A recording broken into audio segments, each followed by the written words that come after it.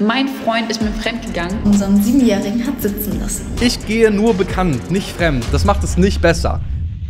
Hey Leute, warum das Internet Beziehungen zerstören kann, darum geht's heute. Also erstmal ist es ja schon, dass eine Beziehung per se kompliziert sein kann. Während man sonst im Leben vor allem die Verantwortung für sich selber trägt, trägt man in einer Beziehung plötzlich die Verantwortung für ein gemeinsames Uns. Also das macht ja nicht nur der Partner, sondern da gehört man selber ja auch ein bisschen dazu. Das heißt also, es ist einfach ein bisschen mehr Verantwortung im Leben. Und dass man in einer Beziehung mal durch schwere Phasen gibt, dass es Streitigkeiten gibt, dass man mal Ängste hat, das ist völlig normal. Es gibt aber eine ganze Reihe äußerer toxischer Einflüsse, darüber habe ich auch mal ein ganz eigenes Video über toxische Beziehungen gemacht, die so eine Beziehung zusätzlich erschweren kann. Zum Beispiel kann es sein, dass man ein Trauma mit in eine Beziehung bringt, weil man beispielsweise vorher in einer Beziehung betrogen wurde und man diese Angst davor, dass das nochmal passieren kann, mit in die Beziehung bringt und man deswegen vielleicht was misstrauischer ist oder eben mehr Schwierigkeiten hat, dem neuen Partner zu vertrauen. Es gibt aber auch andere äußere Einflüsse, wie zum Beispiel toxische Freundeskreise. Vielleicht habt ihr diesen einen Kumpel, der einen immer dazu drängen will, dass man wieder Single wird, weil der selber Single ist und damit nicht umgehen kann und unbedingt möchte, dass dass all seine Freunde auch Single sind und die haben dann vielleicht dauernd Dinge einreden wie, ey, du verpasst Sachen, du bist doch noch viel zu jung, um dich zu binden, es gibt so viele andere bla bla bla, solche Dinge, das, das gibt es alles. Also das hat nicht jeder, aber es gibt immer wieder solche toxischen Einflüsse. Und es gibt da eben noch einen sehr, sehr großen toxischen Einfluss, den es tatsächlich noch gar nicht allzu lange gibt, so die letzten Jahrzehnte betrachtet. Und dieser Einfluss, über den ich rede, bringt mich sogar zu einer sehr steilen persönlichen These. Und zwar, dass Beziehungen führen noch nie so schwer war wie zur aktuellen Zeit. Und ich meine, klar, wir reden über Zeiten früher, da gab es Zwangsehen und all sowas, aber das zähle ich gar nicht zu Beziehungen dazu. Ich glaube aber, wir leben in sehr taffen Zeiten und worüber ich gerade die ganze Zeit gesprochen habe, dieser ominöse toxische Einfluss, das ist das Internet, deswegen heißt das Video auch nicht generell, warum Social Media der Beziehung schaden kann oder Beziehungen zerstören kann, sondern tatsächlich das ganze Internet. Da gibt es nämlich noch ein paar Dinge mehr als nur Social Media. Das schauen wir uns heute gemeinsam an mit einer ganzen Menge Videobeispielen. Boah, bei der Recherche wirklich ist mein, mein Kopf ist kaputt gegangen. Ah, und bevor wir jetzt loslegen, ganz kurz zur Info, Leute. Ich habe jetzt einen WhatsApp-Broadcast, bisschen wie in, kommt in meine Telegram-Gruppe rein. Aber nee, ihr könnt mir tatsächlich jetzt auf WhatsApp folgen und da könnt ihr ein paar private Sachen über mich erfahren, aber auch so ein paar Tipps von mir aus meinem Leben und Dinge, die vielleicht interessant sein können. Also ich verlinke euch das natürlich unten in der Beschreibung. Ansonsten einfach bei WhatsApp nach Jonas M suchen, dann könnt ihr mir dort folgen, würde mich sehr freuen. Also ja, macht das ja gerne, aber jetzt geht's weiter. Kapitel 1, Romantisierungskontent. Also man muss wirklich sagen, das Internet ist voll mit Content, der Beziehungen überromantisiert. Schauen wir uns gerade mal kurz ein paar kleine Beispiele an.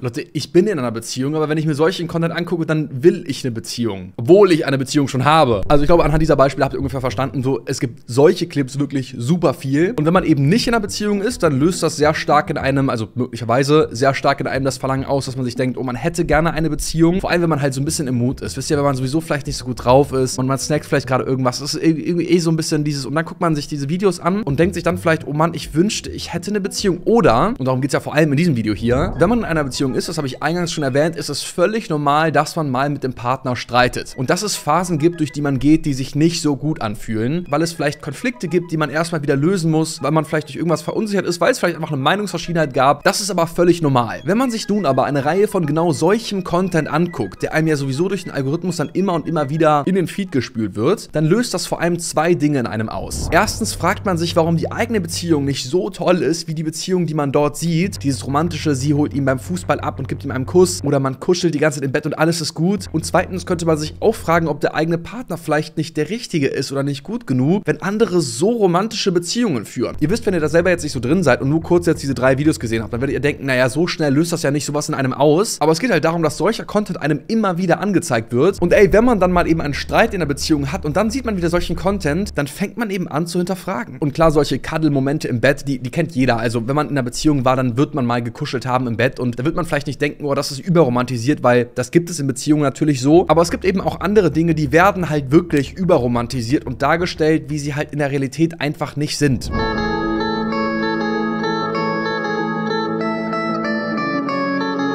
Ich sag euch, solche Clips gibt es wirklich wie Sand am Meer. Von Paaren, die sich ein Van gemietet haben und damit auf Europareise gehen oder irgendwo anders am Meer lang reisen und zwischendurch surfen und das süßeste Picknick aufbauen, alles mögliche. Und das ist natürlich auch super schön und ich mag diese Aufnahmen natürlich auch. Aber wer schon mal mit seinem Partner oder seiner Partnerin auf einer Reise war, der weiß, nicht alles sieht so aus. Es gibt nicht nur diese Goldmomente, wo alles schön ist, wo man den Partner kuschelt und den Sonnenuntergang ansieht. Das ist so eine Collection an schönsten Momenten, die ein Tag haben kann. Aber ein Tag, gerade in einer Beziehung, wenn man nur einen Van hat, der besteht halt einfach aus mehr, auch aus Momenten, die nicht immer so schön sind. Und was ich wirklich aus eigener Erfahrung sagen kann, was passiert, wenn du zu viel sowas anguckst und man sich sowas halt auch mit, dem, mit der Partnerin dann hin und her schickt und so, ey, guck mal, nächste Reise müssen wir auch so machen. Man schickt sich diese Videos hin und her. Die ganzen Orte, wo man hingehen will, die so schön aussehen, mit Color Grading, allem möglichen. Und dann diese ganzen Momente, die man da sieht, die man so verbringen will. Und man ist dann vor Ort und merkt dann plötzlich, Moment mal, das ist gar nicht die gesamte Zeit so. Und plötzlich passiert was, womit man gar nicht gerechnet hat. Man ist einfach enttäuscht von einer Erwartungshaltung, die man sich aufgebaut hat durch solche Clips, die nie erfüllt werden konnte, weil der Alltag besteht nicht 24-7 aus so etwas. Es ist von mir überhaupt keine Kritik an den Creatoren, die so einen Content machen, weil das ist in Ordnung, finde ich. Von mir aus müssen Creator sich nicht dabei filmen, wie sie sich streiten. Also, abgesehen davon, dass es eh voll unauthentisch wäre, wenn man immer irgendwie, wenn man sich streitet, gerade das Handy raus und sagt so, ey, komm, wir müssen diesen real Moment gerade auffangen. Ich hätte auch gar keinen Bock, die ganze Zeit Leuten zuzugucken, die sich streiten. Ne? So ist es nicht. Ich finde es in Ordnung, dass diese glücklichen Momente festgehalten sind. Aber es ist halt super wichtig, als Konsument dieses Contents, also als Zuschauer, darüber zu reflektieren, zu wissen, das ist nur ein ganz kleiner Ausschnitt von einem Tag, der ganz anders aussehen kann, der auch scheiße mal sein kann. Und man streitet sich gerade auf Reisen, vor allem wenn man länger zusammen reist, wirklich wegen den banalsten Dingen. Also alle, die schon mal mit ihrem Partner oder ihrer Partnerin gereist sind, die werden das wissen. Man fuckt sich manchmal richtig ab bei solchen Reisen wegen unnötigsten Kleinkram. Aber das gehört dazu und das ist die Realität. Und man sollte eben durch diesen Content nicht suggeriert bekommen, dass so Reisen aussieht. Also das sollte man einfach als Zuschauer wissen. Es gibt noch viel mehr Dinge, die so eine Beziehung effekten können. Deswegen Kapitel 2 Storytimes. Ich bin mir sicher, ihr kennt solche Clips hier. Ich erzähle euch jetzt, wie ich herausgefunden habe, dass ich betrogen wurde. Meine Freundin hat einen Freund. Der Freund ist im Ausland. Okay, relativ simpel. So, wir müssen uns die ganze Story gar nicht anhören. Darum geht es hier gar nicht. Solche Clips gibt es wieder en masse im Internet. Clips oder Videos, in denen Männer und Frauen persönlich über ihre schlechten oder schlimmen Erfahrungen aus Beziehungen sprechen. Noch ein paar mehr Beispiele. Storytime, wie mich mein äh, Ex-Freund zu unserem Siebenjährigen hat sitzen lassen. Autsch. Wenn euer Freund euch fremdgehen möchte, Ladies, dann schafft er das. Ihr braucht keine Regeln, ihr braucht ihn nicht zu verbieten. Mein Freund ist mir fremdgegangen, als er mit seiner Mutter essen war. Um ehrlich zu sein, bin ich nicht mehr dieselbe, seit ich heute dieses Video auf TikTok gesehen habe von einem anderen Girl, wo sie davon erzählt, dass ihr Ex-Freund Tätowierer war und das Girl, mit dem er sie betrogen hat, auf sie tätowiert hat, ohne ihr Zuwissen. So, das gibt es übrigens auch in Männervariante, nicht wundern. Es gibt tatsächlich mehr Clips von Frauen, die diese Storytimes machen, weil dieses Storytime-Format selber ist ein bisschen mehr, das machen einfach mehr Frauen. Das ist so vor allem, wenn die sich fertig machen und so, das gibt es einfach sehr viel als Content. Das gibt es aber auch durchaus als Männervariante. Hier zum Beispiel jetzt als Bilderslides. Sie ging mir nach sieben Jahren fremd. Der Ring, den ich ihr gekauft habe, er gefiel ihr zumindest zu Beginn. Doch dann geriet ich in finanzielle Schwierigkeiten und sie wurde anders. Du kannst mir nichts bieten, schreibt sie. Ich war schockiert. Ich werde bald heiraten. Was? Sie postet stolz ihre Stories mit dem teuren Ring von ihrem reichen Typen. Er wurde depressiv. Ich konnte tagelang nichts mehr essen, musste Flüssignahrung zu mir nehmen. Medikamente.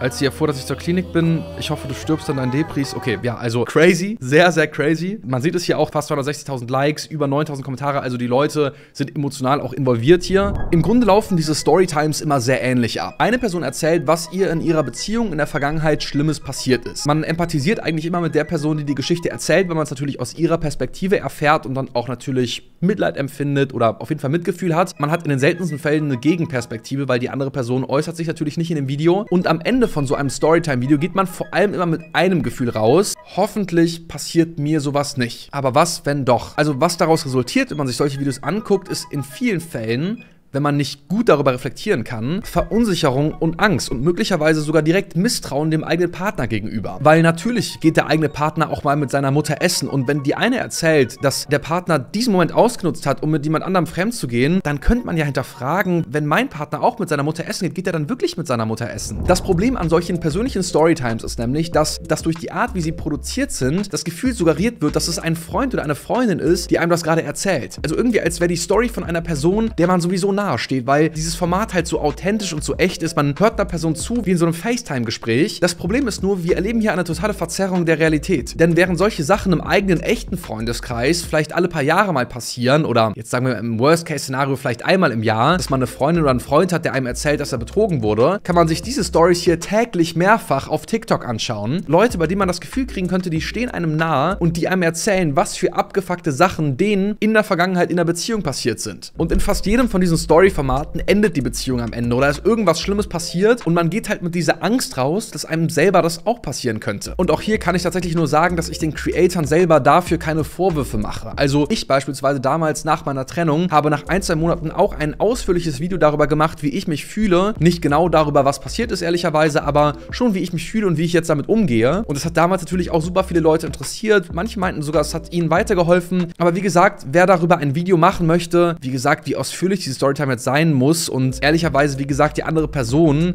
hat ja auch nicht die Möglichkeit, sich zu äußern. Also, was hier natürlich passiert, ist eine Perspektivierung der Geschichte. Nur wichtig ist hier eben auch wieder als Zuschauer dieser Formate darüber zu reflektieren, dass man diese Dinge auf keinen Fall auf die eigene Beziehung reflektieren darf. Das ist leider ein fast unbewusster Prozess, das passiert ganz, ganz schnell, aber es ist trotzdem ganz, ganz wichtig, dass einem selbst das eben nicht passiert. Und wenn man es nicht hinkriegt, diese Dinge eben nicht auf die eigene Beziehung zu projizieren, dann sollte man solchen Content im besten Fall blockieren. Einfach, wenn einem sowas ausgespielt wird, auf kein Interesse gehen, dann werden einem solche Storytimes im besten Fall nicht nochmal angezeigt. Es gibt da sehr ähnlichen Content, vor dem ich euch aber auch explizit warnen möchte. Kapitel 3 Panikmache. Ich bin mir ziemlich sicher, ihr kennt auch folgende Videos. If a man really loves you, he may never post you on social media.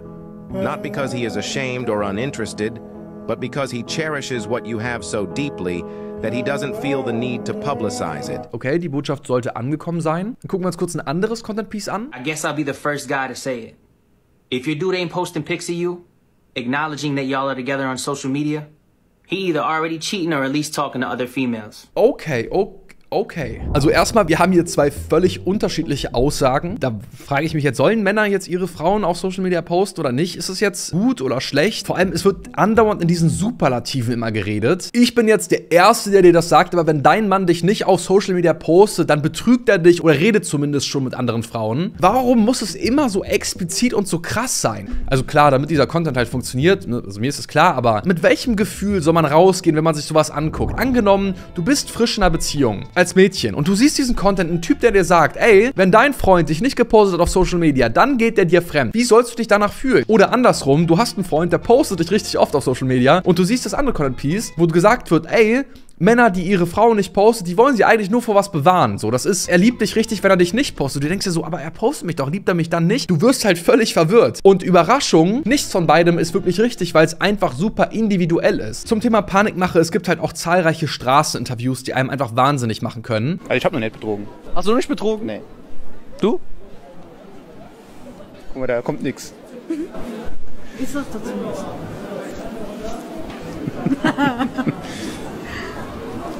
Doch, Digga, der arme Mann. Der arme Mann, ey. Also ja. Ja, habe ich schon mal. Ja. Ja, was soll ich sagen? Ja, egal, ob das jetzt gestellt ist oder nicht, weil diese Reaktion von irgendwie schon relativ echt wirkte hier, aber gut. Es gibt viele von diesen Straßenumfragen auf YouTube, auf hier TikTok und Co. Auch da ist es wieder so, es ist natürlich, es ist immer die Dosis macht das Gift, ganz klar. Wenn du dir zu viel davon anguckst und all diese Clips können einem immer wieder Angst machen oder Panik machen und es ist ja genau das Problem, wenn du sowas angezeigt bekommst und es macht dir Angst, dann liest du vielleicht auch mal die Kommentare, gehst durch, was schreiben andere, ist das wirklich so, Fremdgehen wirklich so ein Problem? Dann bleibst du dran hängen und dann denkt der Algorithmus, dieser Content gefällt dir und schlägt dir noch mehr davon vor. Zum Thema Panik machen, es gibt ja noch diese Ick-Listen. Da habe ich hier ein Video, wo jemand anderes auch schon reagiert, weil es so absurd ist. Ich führe eine Ick-Liste und ich nehme euch jetzt mit. Er schreibt Haha hinter jedem Satz. Bro, das zeigt nur deine Unsicherheit. Hör auf damit. Stell dir mal vor, du hast Ich weiß nicht, wie oft ich haha hinter meinem Satz schreibe, was absolut nicht ist, weil ich irgendwie verunsichert bin. Haha. Aber äh, ja, okay. Mhm. ein Date mit einem Mann. Er hat geplant, dass sie Eis essen geht und dann geht sie zur Eisdiele und er bestellt sich ein Eis in der Waffel. Ja. Ich glaube, ihr versteht, worauf ich hinaus will. Dieses Ick-Listen erstellen für Leute, die es gerade nicht wissen, ist auch so ein, ich weiß nicht, ob man das Trend bezeichnen kann, aber es ist so ein Ding, das gibt es so seit ungefähr einem Jahr, dass Männer und Frauen gleichermaßen so Ick-Listen posten mit Dingen. Ick bedeutet so Abturner quasi am anderen Geschlecht oder der Person, die man datet. Ich sag mal, was man als Ick bezeichnen könnte, aber das ist, eine Ick ist keine Red Flag. Eine Red Flag ist zum Beispiel, wenn du jemanden datest und der datet parallel viele andere Personen. Das ist für mich was, was man als Red Flag bezeichnen kann, was ich, sage ich jetzt mal, legit finde. Ich finde das okay. So, ne? Also klar, manche machen das, für manche ist okay und wenn es abgesprochen ist, alles in Ordnung. Andere sagen vielleicht, okay, es ist eine absolute Red Flag, das zu machen, so, ne, wie gesagt. Aber solche X- oder Ick-Listen ist es einfach nur Content, der andere verunsichert. Weil, Junge, isst doch ein fucking Eis mit Waffel, wenn du da Bock hast, auch bei einem Date. Wenn das Leute sehen und dann anfangen, sich Gedanken darüber zu machen und in diese Panik verfallen, das ist halt so schade und so ein dummer Trend, muss ich glaube ich gar nicht sagen. Und das ist halt das, was ich meine. Solche Sachen gab es halt früher nicht. Vor 20 Jahren gab es solche Dinge nicht. Da gab es keine Ick-Listen, da gab es keine Interviews übers Fremdgehen, die man dauernd sehen konnte, die viral gegangen sind. Es gab keine Storytimes, wo einem zig Leute erzählt haben, wie sie in der Vergangenheit betrogen wurden. Klar finden die Sachen statt, aber du kriegst halt das Gefühl, das passiert die ganze Zeit und das ist so eine Angst, die wird so krass festgesetzt in deinem Kopf. So, und das bringt mich auch schon zum nächsten Beziehungskiller. Kapitel 4 Beziehungscoaches. Beziehungscoaches gibt es auch einfach viel zu viele im Internet. Das liegt auch daran, dass der Begriff Coach kein geschützter Begriff ist. Das heißt, am Ende des Tages kann sich jeder als Coach bezeichnen, egal ob du da zertifiziert bist oder ob du eine Ausbildung gemacht hast oder ein Studium. Wirklich selbst mal ein Hamster könnte man sich behaupten, dass er Coach ist und ich habe nicht mal einen Hamster. Gehen wir auch hier gerade mal in ein Video rein von einem Coach. Wenn ein Mann es mit einer Frau ernst meint, dann wird er dich niemals bitten, die folgenden drei Dinge zu tun. Okay, ich bin jetzt gespannt. Wird er dich nie bitten, dich zu ändern. Denn der Grund, warum er sich in dich verliebt hat, ist, weil du so bist, wie du bist. Das klingt halt erstmal nett. Es klingt ja erstmal wirklich wie eine nette Botschaft, ja? Aber es ist wirklich Schwachsinn. Es ist wirklich Schwachsinn. Du kannst doch nicht ein Coach sein und diese so Pauschalisierung ist halt das sowas, das ist ja das, was Coaching ausmacht. Coaching bedeutet ja auch individuell auf Leute eingehen, um ihnen mit ihren Bedürfnissen zu helfen, um sie voranzubringen. Du kannst nicht im Internet dann solche Pauschalaussagen droppen, die auch noch so ein Quatsch sind. Natürlich ist es völlig in Ordnung, in einer Beziehung seinen Partner oder seine Partnerin auch mal zu bitten, sich zu ändern in bestimmten Hinsichten. Das bedeutet nicht, dass du dir deinen Partner so zurechtformen solltest, wie es dir gerade passt. Aber es ist natürlich ein Aufeinander eingehen. Wenn ich die nervige Angewohnheit habe, im Stehen zu pinkeln, obwohl wir gemeinsam zusammen wohnen und es meine Partnerin stört, dann kann sie mich natürlich bitten, mich in der Hinsicht zu ändern und ab jetzt im Sitzen zu pinkeln, ohne dass das toxischer Einfluss ist oder dass es damit zu tun hätte, dass sie mich nicht liebt, weil sie mich ja dafür liebt, eigentlich wie ich bin, aber sie liebt mich doch nicht dafür, dass ich im Stehen pisse und vielleicht manchmal daneben pinkel oder sowas. Wisst ihr, was ich meine? Und jeder Mensch hat einfach schlechte Angewohnheiten und sich in der Hinsicht zu ändern, man ändert sich sein Leben lang immer wieder und ich möchte mich auch ändern. Ich möchte nicht stagnieren. Wir gucken mal kurz weiter rein. Du bist für ihn eine Trophäe und er ist stolz darauf, mit dir zusammen zu sein nur kurz, sein Argument ist, dass man sich nicht ändert, weil sie eine Trophäe. Alleine das ist ja schon so dumm. Alleine bei einer Frau von Trophäe zu reden, ist so eine dumme Objektisierung, dass man das niemals als Coach sagen dürfte. Versteht ihr, wie banal das ist? So, wir kommen zu einem nächsten Coach. Bitte sage zu Coffee Dates als erstes Date immer Nein. Es ist auch immer diese emotionale Musik, die da gespielt wird. Warum sollte man zu Coffee Dates immer Nein sagen? Warum? Warum werden immer diese... Au es ist so... Versteht ihr, was ich meine? Wie dumm es ist, dass jeder sich coachen darf und diese Videos hochladen darf. Wirklich, es sollte Verbot geben. Ich weiß, ich bin großer Fan von demokratischen Strukturen und natürlich ist es in Ordnung, dass jeder das hochlädt, was er möchte, aber das, das sollte echt nicht okay sein. Männer gehen fremd, weil sie sich in ihrer Beziehung nicht mehr als Mann fühlen. Für Männer ist es wichtig, dass sie Bedeutung haben in der Beziehung. Dass sie ihre Rolle als Mann aus ausfüllen dürfen und dass sie dafür auch gewertschätzt und anerkannt. Okay, ich mache hier schon auf Pause. Das Video triggert mich schon auch wegen dieser Aufmachung, dieses darum gehen Männer fremd, hey, ein Mann muss doch Mann sein dürfen, er braucht Aufmerksamkeit und so weiter. Ich als Mann, wenn ich das angucke, fühle mich schon so primitiv dadurch, weil als wäre ich so triebgesteuert, dass ich, wenn ich von meiner Frau nicht als Mann behandelt werde, dass ich sofort fremd gehe. So. Also zum Fremdgehen, das ist immer eine Entscheidung, die man trifft, eine völlig ignorante Entscheidung, dem eigenen Partner so sehr zu verletzen, nur für das eigene Bedürfnis. Also ist es so egoistisch und ignorant, dass dass jede Beziehung ist, man kann keine zweite Chance nach dem Fremdgehen. Das ist etwas, was absolut keinen Sinn ergibt bei einer monogamen, loyal geführten Beziehung. Wisst ihr, was mich noch mehr gestört hat bei diesem Video? Ich muss euch mal die Kommentare kurz einblenden. Die Kommentare sind einfach, die triggern mich so sehr. Der Typ hier schreibt, Frauen können mit Männern einfach nicht richtig umgehen. Scheiß Emanzipation. Ich will keine Mannfrau an meiner Seite. Hä? Wo? Es ergibt überhaupt keinen Sinn. Alles, was er hier geschrieben hat, ergibt keinen Sinn. Ich gehe nur bekannt, nicht fremd. Ganz ehrlich, das kann immer passieren auf beiden Seiten. Nein, es kann nicht immer passieren. Und auch dieses Ich gehe nur bekannt, das ist hier so eine richtige Aussage, wenn ich hier drauf gucke, auf das Profilbild, ist so eine 40-, 50-Jährige könnte das gut sein. Also jetzt kein 40-, 50-jährigen Shaming, nur so dieses Ich gehe nur bekannt, ich gehe nicht fremd. Digga, das macht es nicht besser. Das macht es nicht besser. Der Typ darunter schreibt, gehe oft fremd. Es gibt auch Wege, wie man aufhören kann. Was? Ah! Dann schreibt noch ein anderer Boomer darunter. Wie gesagt, das ist kein Shaming für, das, für Leute in diesem Alter. Es ist nur so lustig. Du hast recht mit deiner Aussage, aber heute weiß kaum noch jemand, wie man den oder die Partnerin behandelt. Ist keine Einbahnstraße. Es ist schwer gruselig, was hier im Internet passiert. Und auch hier kann ich wieder nur sagen, wenn du als verunsicherte Person dieses Video anschaust und dann schon denkst, oh, behandle ich meinen Mann denn überhaupt wie einen richtigen Mann? Die sagt später auch noch im Video, dass man ihm auch Intimität geben muss. Also im Sinne von, du musst mit deinem Mann schlafen, weil wenn er dich dann betrügt, das ist dann deine eigene Schuld. So, wenn du das jetzt als Mädchen guckst, als 15, 16-jähriges Mädchen oder auch als 20, 25, ist egal. Du bist verunsichert und dann siehst du doch diese Kommentare von diesen Leuten, die hier schreiben, ja, ich gehe auch fremd, nee, ich gehe bekannt, ja, das ist alles, ist richtig. Ich finde das echt problematisch. Aber auch ganz ehrlich, das Mindset von vielen Leuten, also wenn das hier stimmt, ist auch echt problematisch so. Digga, arbeitet mal an euch, wirklich. Sucht euch einen richtigen Coach und arbeitet mal daran, das ist nicht normal. Ich glaube, ich muss nicht deutlicher erwähnen, dass man einfach vorsichtig sein muss, wenn man solche Coaches und deren Content konsumiert. Eine Sache, die möglicherweise helfen kann, ist da einfach mal das Impressum aufzurufen, also auf die Webseite des Coaches zu gehen und zu gucken, beziehungsweise bei dem About Me oder über mich steht manchmal, ob die eine Zertifizierung haben oder was die für einen Werdegang hatten. Auch hier muss man ehrlich sagen, das könnte natürlich gelogen sein und ich weiß nicht, mit welchen unkuschen Mitteln da gearbeitet wird. Grundsätzlich würde ich es nicht empfehlen, einfach über das Internet kostenlose Coaches sich anzuschauen. Also wenn man richtig Beziehungsprobleme hat, dann sollte man zu einer Therapie gehen, zu einem ausgebildeten Therapeuten oder Therapeutin und sich dort beraten lassen.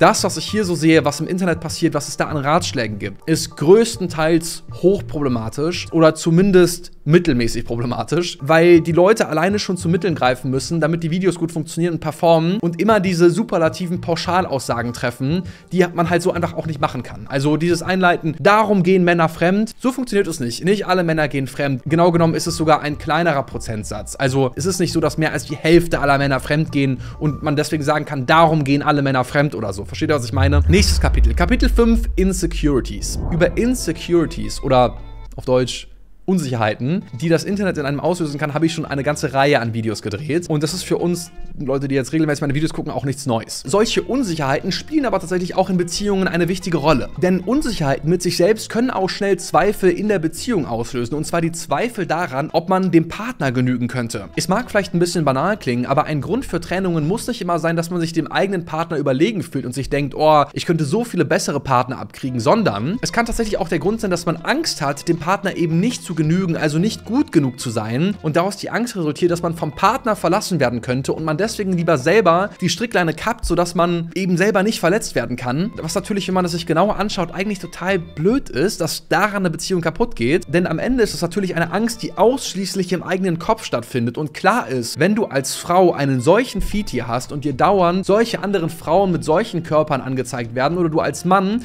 einen solchen Feed hast und solche Beiträge dir andauernd zeigen, wie ein Männerkörper aussehen sollte, dann ist natürlich klar, dass man dadurch schnell verunsichert wird. Und ich meine, ganz klar ist auch, wenn das jetzt umgedreht aussehen würde, also wenn eine Frau in ihrem Feed ganz viele solcher Männer hätte oder ein Mann ganz viele solcher Frauen, dann ist das, das ist jetzt meine persönliche Meinung an dieser Stelle, also ich möchte euch damit jetzt keine Angst machen, aber ich glaube sicherlich nicht das Gesündeste für eine Beziehung, das kann man tatsächlich auch beeinflussen, also man kann auch bei Instagram auf nicht interessiert gehen, das heißt also, wenn beispielsweise ihr ein Typ seid, der dadurch, dass er lange Single war, viele solcher Frauen auf seiner For You-Page oder seiner Empfehlungsseite hat und jetzt bei einer Beziehung ist und sowas gar nicht mehr sehen möchte oder auch seine Partnerin nicht damit verletzen möchte, dass man sowas hat, der kann bei diesen Beiträgen auf nicht interessiert gehen. Ganz klar, wenn du dir trotzdem ganz viel solche Frauen anguckst und immer wieder danach suchst, dann wird dir sowas natürlich auch immer wieder angezeigt, aber vielleicht sollte man sich dann selber fragen, warum man überhaupt in einer Beziehung ist. Aber wie gesagt, das sind jetzt Regeln, die sind ganz individuell und wenn ihr eine Beziehung führt, in der das völlig in Ordnung ist, dass der Partner oder die Partnerin sich solche Inhalte viel anschaut auf Social Media, dann ist es völlig in Ordnung und eure Sache. Aber grundsätzlich sollte man natürlich darauf achten, dass man sich seine For You-Page, seinen Feed, seine Empfehlungen so gesund wie möglich für einen hält.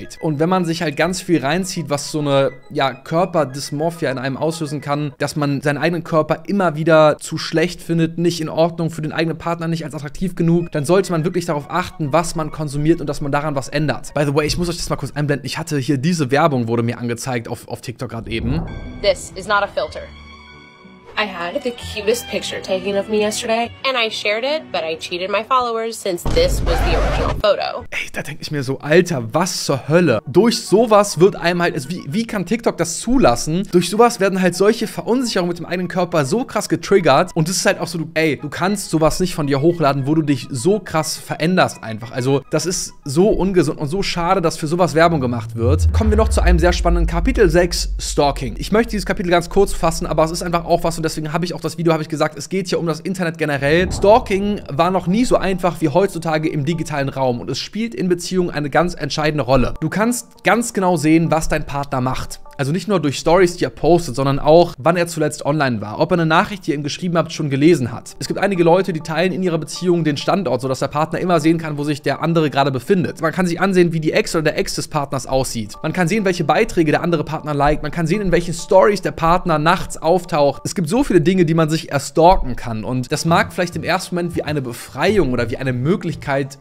eine positive Möglichkeit der Überwachung aussehen, aber man wird dadurch mit der Zeit wahnsinnig. Und man kann da wirklich so in so ein richtiges Rabbit Hole geraten, wenn der Partner oder die Partnerin zum Beispiel feiern geht, dass man dann exzessiv anfängt, die ganzen Stories von den Freunden oder Freundinnen sich anzuschauen, mit denen er feiern ist, um zu gucken, macht er vielleicht gerade irgendeine Scheiße, passiert da vielleicht irgendwas? Oder die ganze Zeit diesen Standort zu aktualisieren. Wo ist der Partner? Wo ist die Partnerin? All solche Dinge. Ich werde über dieses Thema nochmal ein ganz eigenes Video drehen, weil das ist sonst zu umfangreich. Ich möchte trotzdem hier nur ganz kurz sagen, das ist etwas, was man nicht unterschätzen sollte, wie viel Einfluss das hat und wie toxisch sich das, diese dauerhafte Überwachung und dieses Stalking, sich das auf eine Beziehung auswirken kann. Ich kann hier, ich bin kein ausgebildeter Coach, aber ich kann hier grundsätzlich einfach nur sagen, ein Vertrauensvorschuss sollte man in einer Beziehung bringen und eine Beziehung funktioniert nur mit Vertrauen als Fundament. Also, wenn du dem Partner oder der Partnerin nicht vertraust, dann ist es halt sehr schwierig, die Beziehung überhaupt zu führen. Also ganz klar, es kann nicht von Anfang an immer direkt alles Vertrauen geben, das muss man sich erarbeiten. Aber wenn ihr nach drei, vier Jahren Beziehungen, wenn es immer noch so ist, dass ihr ultra Vertrauensprobleme habt, dann